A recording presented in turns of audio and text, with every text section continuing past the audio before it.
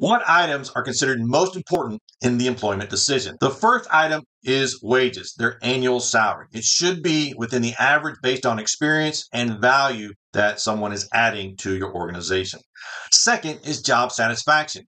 Do people enjoy working for your organization? Or are they considered a roadblock and not a resource to enable your organization to deliver results for your customer? Third is work life balance. And this is difficult for a supply chain professional, especially towards the end of the fiscal year when there's a lot of requirements that have to be met before those budgets close out. And people are trying to spend their money to make sure that their budgets were properly executed. Fourth is benefits package. What are my benefits? Health insurance, medical, dental, vision. What are those things? And finally, number five is the culture, the work environment, which would go back to job satisfaction. So, two factors have an impact on job satisfaction and culture. How are people treated within your organization?